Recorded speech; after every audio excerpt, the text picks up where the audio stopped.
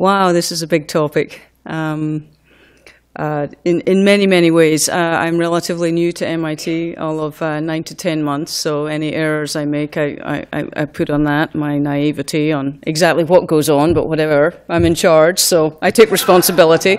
Um, uh, I was at the University of Illinois, so although we don't have public university here, I very much have in my heart University of Illinois, a state, a land grant university, and all of the things uh, that they had to deal with in terms of intellectual property economic development as a mission of their university. What I've got today, uh, and, and I'm pleased to say I don't answer directly any of the questions already posited or the, or the uh, considerations to be given, but I do offer some perspective and some additional information, which I hope you'll find interesting. So uh, we have a quandary. I think that's clear. Um, there are many, many things things about intellectual property that make it complex. Uh, universities tend, uh, you know, they are focusing on uh, teaching and research and uh, and service in many ways. Economic development in some cases is a mission. Um, I know that uh, President Reif says, you know, we are first about uh, teaching, we are second about research, and we are third about innovation. And he considers that to be the priority order. That said, we have many, many things going on at MIT that speak to innovation and entrepreneurship, as, as David mentioned at, at BC as well. Um, I want to just, uh, not that anyone needs any teaching on this, but uh, a recent report uh, that Michelle Lee, now I believe confirmed as the USPTO director, um, put out, which was talking about IP in the US economy. Um, and, you know, these are no, no new statements to you. Incentives uh, to invent and create, uh, pr uh, protecting in innovators from unauthorized copying, facilitating vertical specialization, platform for national investments, uh, supporting liquidity through mergers, uh, supporting licensing-based technology, business models, basically what universities try to do, and enabling uh, a more efficient market. One could argue with some of those things in terms of how effective they are, but I, I kind of wanted to put it up there and then match it with, you know, how important IP-intensive industries are to this country and the fact that universities are often the driver of innovation. Now, whether or not they are effective in that is an open question, I think, but they are, I believe, trying to do the best they can with the tools they're given and the funding that they have and the resources that are uh, uh, applied to that. So what are the concerns? And I, I actually find this really interesting because I, I, I got a book a couple of uh, months ago called The Branding of the American Mind, How Universities Capture, Manage and Monetize Intellectual Property and Why It Matters. And it's not particularly complimentary about the work that I do or my colleagues in terms of what it's trying to achieve, but it speaks directly to some of the content of this, uh, of this um, uh, workshop, which is uh, you know, engaging in tech transfer is effectively a clashing of missions, um, money-related goals and mission-related goals to do with teaching, research, and uh, getting um, uh, uh knowledge out there. And the, the, next, the next paragraph to this one in this book said universities that own patent may be tempted to license them on an exclusive basis to only one company, as opposed to licensing them cheaply and non-exclusively to anyone willing to pay for a license. Well, I would take issue with that second part. That sounds arbitrary. I mean, I think what we should be talking about is the structure of licenses and how it's done and what's most effective and what's most valuable for society in the way that we do that, as opposed to arbitrarily licensing them cheaply and non-exclusively. And maybe it's just the tone that, that got me on that. But clearly, there is an issue here and the concerns exist. And there are universities that don't have the skill set or they don't have some of the capabilities or the tools to help them in that mission. So talking of missions, we happen to have been um, working at MIT TLO on developing our mission statement because when I got there, I discovered we had two mission statements, one on the website and one in one of our books. And I thought, hmm, we can fix that. That's an early win. Um, but it's still, I, am actually presenting it at, the, uh, t, uh, at our all staff meeting tomorrow, so I'm not going to present it to you beforehand because that would be a big no no. Um, but, but in doing that, we decided to look at other universities' mission statements just out of interest to see the language that they used and where their focus was. Now, there were some really short ones. We aim to please our customers, or we aim to patent technologies, which is a little, uh, a little slim. Um, but I thought it interesting, and again, not to, not to, I'm not taking issue with any of these, but the intent, and if we call it the heart of what tech transfer offices are trying to do, is about translation. The words that came up were to do with um, making available and beneficial to society, societal benefit, fostering economic development, promoting economic growth. So I'd say that the true heart of tech transfer often is trying to do better, trying to do good. Now, whether or not we achieve that, we can actually question and we can get into that later. But if you look at the, the, the mission statements, and if you don't believe in mission statements, fine. But it's supposed to speak to the vision and the values of an, uh, of an organization. And, it, and in doing that, I thought, well, we actually stole some of the words. There were some that we completely ignored uh, in order to um, kind of um, uh, get to the heart of what the MIT TLO about, which is truly about trying to have impact in society. This, and I'm jumping all over the place just to keep you on your feet, make sure you don't fall asleep. Um, this is actually a, a, graphic that's on the Association of University Tech Managers website, and it is a pictorial of the output from the 2015 annual survey that they do every year, and it's a one place that everybody goes to see whether or not tech transfer is successful and who's the best best. What does that mean? I'll, we'll talk about that later as well. Um, but I thought it was interesting because it gave a sense of how much impact is being had in any one year. And I thought, well, that's a cute graphic, but does it really speak to what's been going on over, over a number of years? And so what I did, and you'll have to excuse the crude graphics and my attempt at animation. If it fails, my apologies in advance. But so I took 15 years and I said, okay, what's gone into this system? Uh, so this is all from the Association of University Tech Managers uh, surveys, and I think about 190 to 200 universities subscribe in any one year and actually answer the questions asked of them.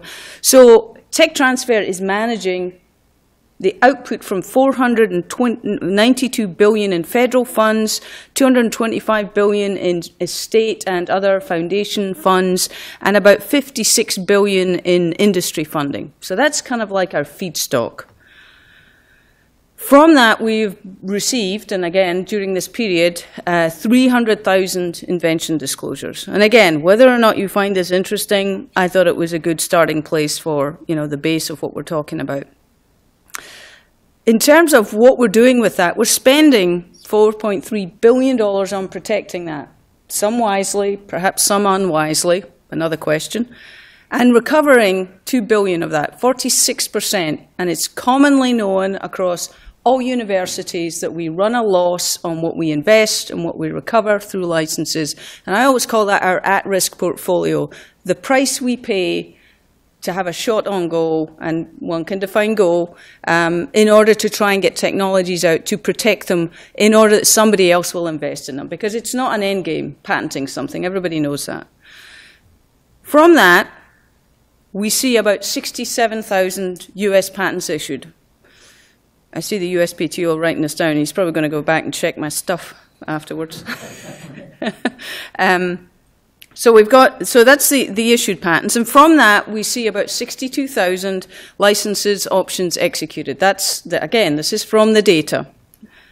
And from that, we receive 31 billion in licensing income. That excludes, I, deducted the patent reimbursements, which are also considered license income, but so it's 33 billion, but 2, 2 billion of that is patent reimbursements.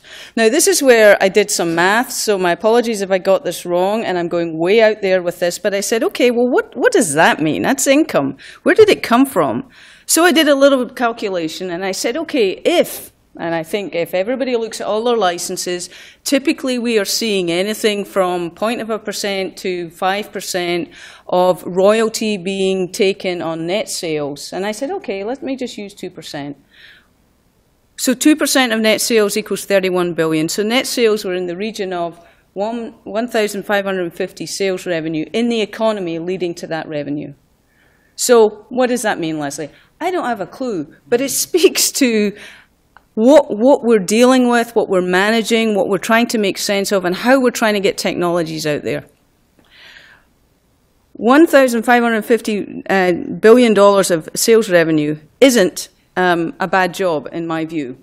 Again, you can define all of that. However, Let's talk about the real story behind tech transfer. And I don't have any uh, newer data, but 2012, the top 5, 5% earners, this is not the greatest language, but eight universities took 50% of the X billion dollars that is earned. The top 10% 16 universities, and that will probably include MIT and Stanford and Columbia and a few others, took nearly three quarters of the system's income. And the truth is, 84% of universities in 2012 did not make enough money to cover their operating costs. And over the previous 20 years, 87% did not break even. So if we were investors, why the hell would we be doing this? So my question is, I really believe those mission statements or not my question, my statement is I believe those mission statements because nobody in their right mind would invest in something that only 13% of the time was going to give them an ROI or a positive ROI. All right, changing again, just keeping you on your toes. Next, we're going to be doing jumping jacks, so watch out. Um, so MIT, uh, 800 invention disclosures. I can't complain about it. I'd love to, but everybody else would slap me around the head and say, we are barely getting things in the door. We can't engage with our faculty. They're so hard to work with. We have to stop them at the door and say, could you please make sure that you actually have an invention before you come to us? Or an, beyond a concept. We think you're great. I know you want to start a company, but that piece of paper doesn't do it for us. Um, this is our, this is kind of our, our, our world, and I, I wanted to break into this just a little more. Um, in our portfolio, we have over 2,500 US issued patents, and of 50% of those are licensed. I don't know the stats for the rest of the world, but I think that's pretty good. It may not be great, but it's pretty good. We've got 50% of patents licensed. Of the pending apps, we have about 31% licensed. Of those that issued just this year, we have 217 already, and of those, 41% are licensed. I am always looking at that sort of statistic to see whether or not we are out there doing things with the stuff that we have that is current, that is just about to be issued, that we should be working on to try and find the right partner to get the technology into the marketplace. And the, and the FY17 disclosures to date, we've uh, received probably around 300. This is just a breakdown of the areas. People sometimes don't know that we do receive a lot of life sciences, and Lauren Foster is here who heads up that group, uh, technologies, but they're not in the typical therapeutic areas. We are dealing with many, many other things. I know she's going to be talking about that later on, particularly medical devices and the like. And you notice I'm not saying anything about um, because uh, I, uh, that, that is a topic I know is going to come up later. Now, the other thing, again, jumping again to a different topic, and a question that is often asked these days is, what are you doing with sponsored research, and who ever licenses that stuff? Well, here's a little analysis. 343 inventions arising out of sponsored research that came in between FY03 and FY12 for MIT, 53% is, remains unlicensed. 10% was exclusively licensed to the sponsor. 15% was non-exclusively licensed to the sponsor. More and more they're asking for those royalty-free or capped fees or something non-exclusively. 11% jointly owned but no license, probably them saying that's enough, that's all we need and 11% licensed to another party. And the struggle we have at the moment is that relationship with the sponsor and how we get those technologies out. Because if they're not interested in them, often they're seen as a bear at the door, and it's hard to actually get someone else interested. I, I challenge that in some ways because I think we need to make decisions about how to better uh, structure that to get the technologies into the hands of others without feeling as though they're going to be undermined. So my last slide, and, and this is really shallow. I mean, given all of the things that you said before, Yarden and, and David, you were talking about as well, is like, what considerations do we have as we're licensing technology, as we're protecting technology, as we're functioning as a tech transfer office, as we're thinking philosophically about our role in a university? One is that what we are dealing with is so embryonic. Some of the stuff probably shouldn't be patented. We are sometimes putting broad patents in place that we shouldn't even be thinking about putting a piece of paper around. And expectation setting. Our faculty, who think that when they su submit to us, we should immediately get a piece of paper for them and begin the, the, the route to uh, the patent office. I don't believe that we should. I think there's a big cultural issue there. Um, and it's not because folks at MIT or any place else these days want to hang these things on their wall, it actually speaks to the role of tech transfer officers beyond patenting, helping start companies, helping uh, students, um, moving into this other other domain where biz dev and all of these other cool things are happening. NSF, I-Corps, um, you know, the things that are really bridging the gap. Tech transfer offices are being pulled into that more and more. And then the reduction in federal funding that is really pushing, it's the real reason that I put in the sponsored research slide, towards corporate sponsored research. But we don't seem to be doing that very well either because we're not getting the engagement we need. And, and there's a whole load of questions around that. Is it the corporate uh, uh, sponsors? Is it our structure of licenses? What, what is it about that? What, is, what, what can we do better there? And then open innovation, which is a huge area of which there are many, many initiatives uh, that we are both participating participating in and trying to work out because open innovation means so many different things to so many people. And that's my slide set. Thank you.